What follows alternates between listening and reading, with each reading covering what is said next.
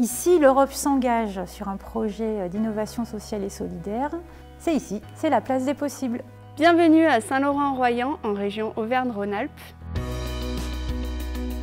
C'est un projet qui prend euh, corps dans une ancienne usine de tissage à Saint-Laurent-en-Royan qui fait 2500 euh, mètres carrés. L'association Les Tracoles en 2015 euh, a racheté cette usine de tissage pour à la fois développer ses activités et en même temps proposer un projet plus global sur le territoire avec les différentes associations. Tous ces acteurs se mobilisent bah, pour animer cinq pôles thématiques.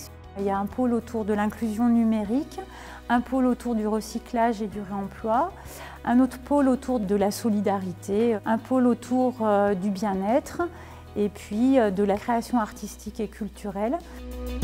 On a été une des premières activités à venir s'installer sur la place des possibles. Ça va faire 4 ans maintenant qu'on pratique ici, euh, avec le gros avantage, c'est qu'on est libre de pratiquer la musique comme on le veut et comme on l'entend. La place des possibles euh, propose des projets qui vont pouvoir euh, dynamiser le territoire et puis offre des espaces de travail aussi qui sont bien souvent euh, attractifs pour ces publics qui viennent des grandes villes et on voit beaucoup de jeunes, beaucoup de citadins qui quittent la ville et qui sont en recherche de lieux pour venir travailler et puis aussi pour créer et trouver du lien social.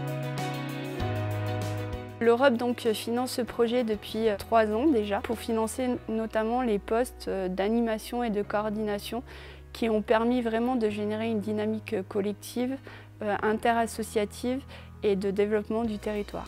L'Europe permet d'enclencher des dynamiques collectives et des événements forts hein, sur le territoire, comme la fête du numérique, les portes ouvertes de la place des possibles.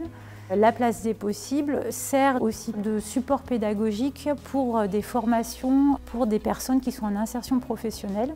L'innovation aussi de ce lieu, c'est justement de permettre des espaces d'ateliers, notamment ben, l'art de rien. C'était des artistes qui cherchaient à pouvoir avoir un espace de travail pour euh, travailler sur des grands volumes.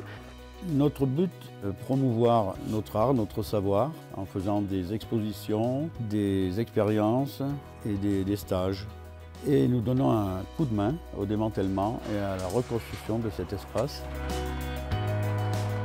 Les perspectives, c'est de continuer cette rénovation grâce à une énergie collective à travers des chantiers participatifs, de pouvoir euh, développer d'autres types d'activités sur le lieu, notamment un espace de Fab Lab et d'un espace aussi de création euh, vidéo et musicale. Grâce à toute cette énergie, on va réussir à faire euh, fonctionner donc cet espace en continu et qui puisse répondre à vraiment différents besoins auprès des publics, auprès des acteurs et auprès des entrepreneurs.